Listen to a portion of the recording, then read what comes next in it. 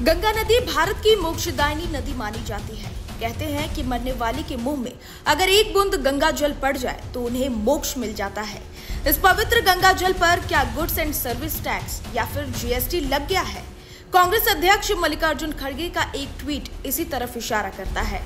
उस ट्वीट में उन्होंने बताया है कि गंगा जल पर 18 फ़ीसदी जीएसटी लग गया है। दरअसल मल्लिकार्जुन खड़गे ने प्रधानमंत्री नरेंद्र मोदी को संबंधित एक ट्वीट लिखा। उस ट्वीट में लिखा गया है एक आम भारतीय के जन्म से लेकर उसके जीवन के अंत तक मोक्षदायिनी माँ गंगा का महत्व बहुत ज़्यादा है। अच्छी बात है कि आप आज उत्तराखंड में हैं, पर आपकी सरकार ने तो पवित्र गंगा जल पर ही 18 प्रतिशत जीएसटी लगा दिया है। एक बार भी नहीं सोचा कि जो लोग अपने घरों में गंगा जल मंगवाते हैं उन पर इसका बोझ क्या होगा। यही आपकी सरकार के लूट और पाखंड की पराकाष्ठा है।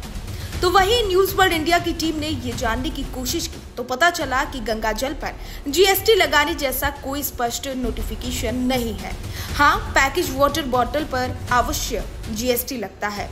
ये व्यवस्था 25 जनवरी 2018 से ही है। अगर पानी 20 लीटर की बोतल में पैक हो तो उस पर 25 फ़ीसदी जीएसटी लगेगा। अन्य मात्रा की पैकिंग में पैकेज्ड वाटर पर 18 फ़ीसदी की दर से जीएसटी लगता है। चाहे वो बोतल बंद नेचुरल या आर्टिफिशियल मिनरल वाटर हो।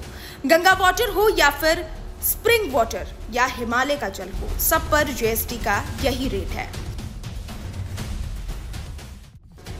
आपको बता दें कि एरेटेड मिनरल डिस्टिल्ड और मेडिसिनल आयोनिक बैटरी में उपयोग होने वाला या बोतल बंद पानी को छोड़कर अन्य किसी भी पानी पर कोई जीएसटी नहीं है। मतलब कि अगर आप गंगा से पानी अपने लोटे या बाल्टी में भर रहे हैं तो उस पर जीएसटी नहीं है।